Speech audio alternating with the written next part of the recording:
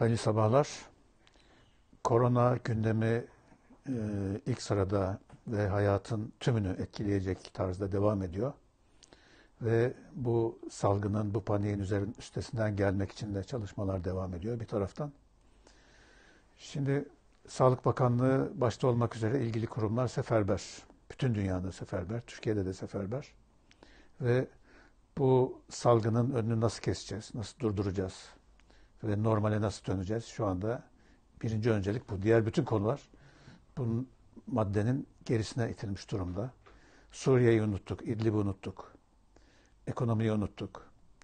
Ama bu korona hadisesi çok ilginç bir şekilde KHK olayını gündeme getirdi. Nasıl getirdi? Ee, bu furyada KHK ile görevden uzaklaştırılanlar arasında e, Türkiye'nin galiba haberlerden alabildiğim, öğrenebildiğim kadarıyla e, korona konusunda doktora yapan, uzman vasfına sahip tek doktorun, doçent doktor Mustafa Ulaşlı'nın 4 sene önce yaklaşık KHK ile meslekten uzaklaştırıldığı haberi gündeme taşındı sosyal medya kanalıyla yine. Ve e, korona konusunda en bilgili, en yetkin, en uzman isimlerden biri olarak e, ifade ediliyor. Ve böyle bir insana şu anda ihtiyaç var. Kendisi e, bu konuyu enine boyuna araştırdığını, dört yıl boyunca üzerinde çalıştığını, bütün detaylarına vakıf olduğunu söylüyor.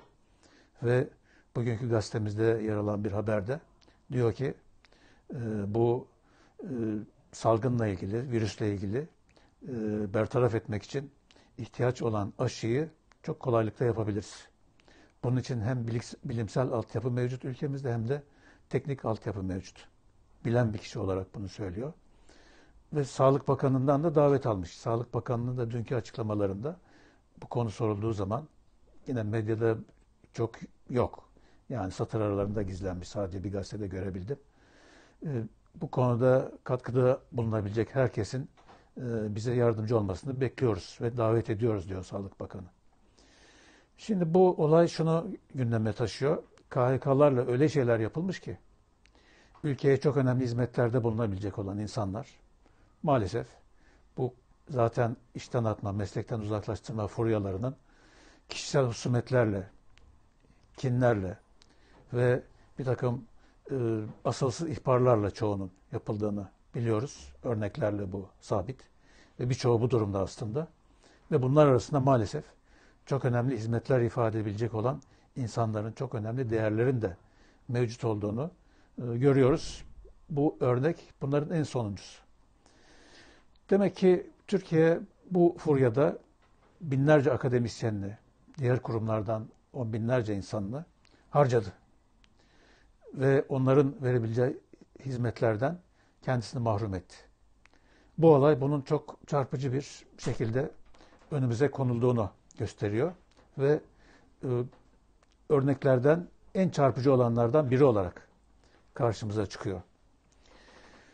Şimdi bunun e, hakikaten çok iyi tahlil edilmesi lazım. Yani KHK'lar tartışıldı. Gerçi tartışılmasına da imkan verilmiyor bu baskı ortamında. O halin hala devam eden etkilerinin söz konusu olduğu bir ortamda. Ama Türkiye'nin bunu çok iyi tartışması lazım. KHK ihraçları Türkiye'ye çok şey kaybettirmiş. Yani anlaşılan o ki Mustafa Ulaşlı örneği de onu gösteriyor.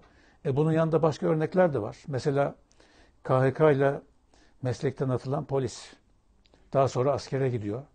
Birkaç ay evvel bu gündemdeydi. Ve askere alınıyor. Güneydoğu'da bir operasyonda, terör operasyonunda şehit düşüyor. Buna benzer çok örnekler var. Bildiğimiz örnekler var. Kısmen sosyal medyaya yansıyan örnekler var. Kim bilir daha bilmediğimiz ne örnekler var. Onun için bu KHK faciası tabiri kullanılmış idi. Bizzat Bülent Arınç tarafından. Sonra çok sert e, tepkilere maruz kaldı. Sarayın en tepelerinden.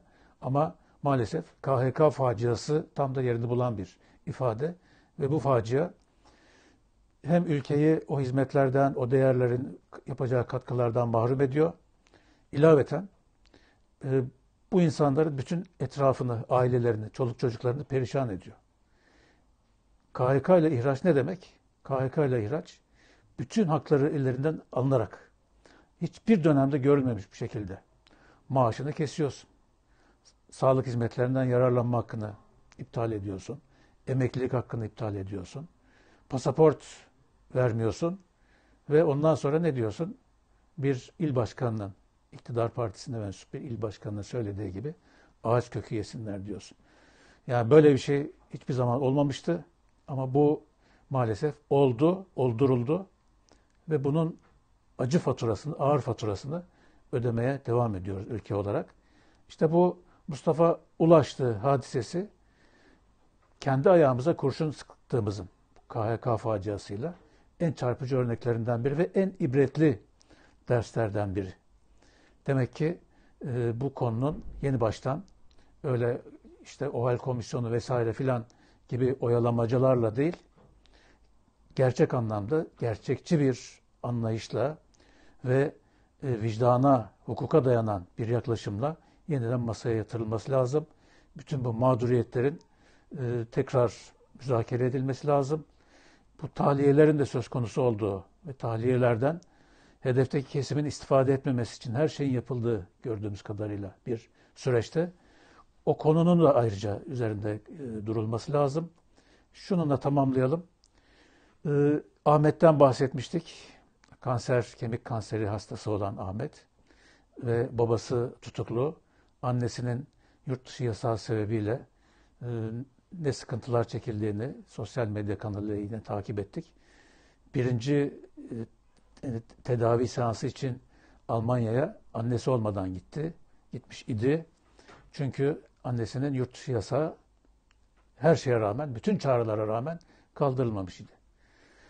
Neyse ikinci aşamada uğraşa uğraşa bütün bu çağrılar neticede makes buldu. Ve annesiyle gitti. Ama birkaç gün içinde geri döndüler. Çünkü doktorlar diyor ki çok geç kalınmış. Ve Ahmet'ten gelen en son haber kanamaları çok şiddetlenmiş, durdurulamıyor. Ve şimdi bir çağrı daha yapılıyor. Babası tutuklu. Babası mah- mahkum içeride. Babasıyla en azından son bir kez görüşmesine fırsat verilsin, imkan verilsin. Bu insani ve vicdani bir çağrıdır. Ahmet'in başına gelenler, Ahmet'in çektiği eziyetler, bu sistemin, o hal rejiminin ve bu rejime vücut veren, bunu hala devam ettirmek isteyen zihniyetin utancıdır. Utancı olarak tarihe kaydedilmiştir. Ama e, bunun e, bedeli, manevi bedeli çok ağır olacaktır. Zaten bu yaşadığımız, maruz kaldığımız musibetler de bu tarz haksızlıkların, zulümlerin karşılığıdır, bedelidir maalesef. Bunlara hem yapanlar açısından hem de seyirci kalanlar açısından Cenab-ı Hakk'ın göndermiş olduğu ilahi ikazlardır, cezalardır. Bunların şiddeti artarak devam ediyor. Daha beterinden, tekrarından ve daha beterinden korunmak için, muhafaza kendimizi muhafaza edebilmek için bu yanlışlardan bir an evvel çok büyük veballer getiren bu yanlışlardan vazgeçmemiz, zulümleri durdurmamız, zulümlere itirazlarımızı daha yüksek sesle yine hukuk içerisinde müsbet hareket prensibinden şaşmadan seslendirmeye devam etmemiz lazım. Bugün bu kadar diyelim ve yarın inşallah başka bir konuda buluşalım.